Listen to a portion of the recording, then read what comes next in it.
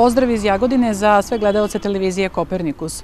U Jagodini će i danas biti lepo vreme. Meteorolozi kažu da će maksimalna temperatura biti oko 23 stepena. Takvo vreme zadržat će se do kraja ove sedmice.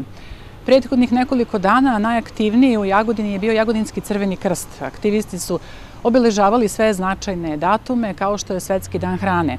Tim povodom u Narodnoj kuhinji Crvenog krsta podeljen je i dopunski obrok. Zatim su aktivisti Crvenog krsta obeležili Evropski dan borbe protiv trgovine ljudima.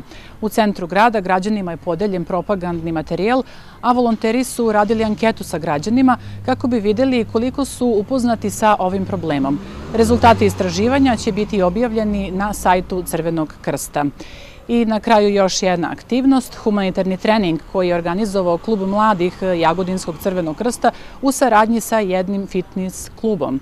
Trening je organizovan u hali sportova, a učestvovali su jagodinski srednjoškolci.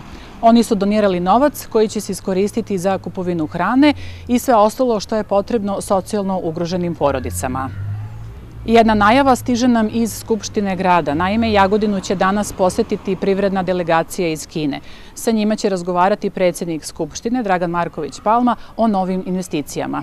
U Gerontološkom centru Jagodini danas će biti organizovana tradicionalna manifestacija etnotrpeza, koja će i ove godine okupiti veliki broj učesnika iz gerontoloških centara iz cele Srbije.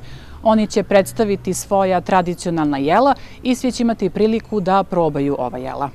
Tokom narednog vikenda nema mnogo najavljenih događaja, e, ali izdvojila bih jedan sportski koji će biti organizovan sutra. U hali sportova u Jagodini u subotu će se održati državno prvenstvo Srbije u šahu za osobe sa invaliditetom. Organizator je Sportski savez invalida Srbije, a takmičenje počinje u 10 časova. Toliko za ovo uključenje iz Jagodine. Za televiziju Kopernikus, Jelena Lukić.